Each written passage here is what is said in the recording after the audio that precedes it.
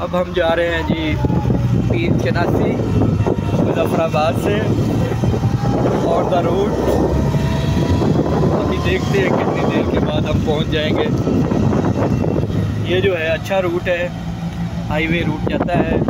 देखें ये कहाँ तक जाएगा और ये तकरीबन लगभग एक घंटे का सफ़र है और अभी हम तकरीबन